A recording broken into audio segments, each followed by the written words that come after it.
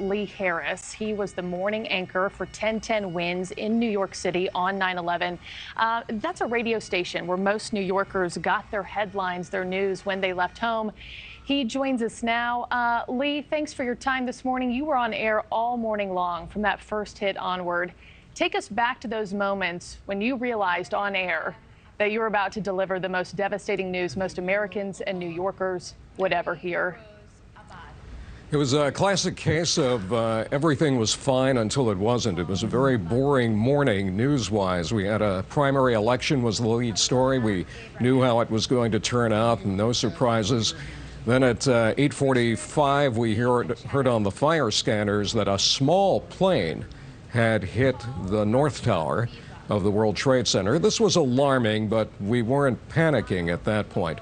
Uh, I got on the air at 9 o'clock. I'm talking to an eyewitness who then reported an explosion in the South Tower. And uh, I could see on television, they showed the obviously airliner sized plane flying into the South Tower.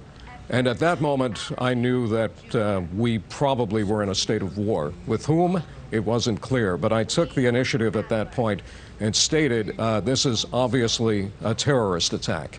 Of course, I had no actual knowledge of that, but there was no other sensible explanation for what was going on. It was a bright sunny day, not a cloud in the sky. I still get a little worried when I don't see clouds in the sky because of this. And at that point, we, we knew it was on. We were at war. We didn't know with whom, uh, but we had some suspicions, but that's when we knew things had changed and probably permanently. And Lee, I know that this is particularly difficult for New Yorkers because it's so sensitive, and it was at home. At what point did you and everyone in your newsroom figure out what was going on and that it wasn't simply an accident?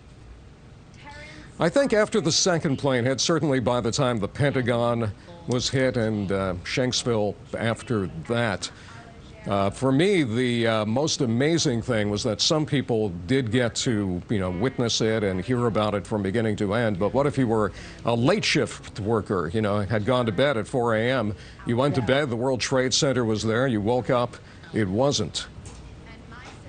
Lee, I want to thank you again for your perspective this morning. We know that this is difficult for so many New Yorkers, and I know that today marks a special moment for you and your friends and colleagues as well. We look forward to continuing this conversation and in our next hour. Yeah, we will check back in. Thank you for watching. Go to newsnationnow.com to find News Nation on your television provider. And don't forget to click the red subscribe button below to get more of News Nation's fact driven, unbiased coverage.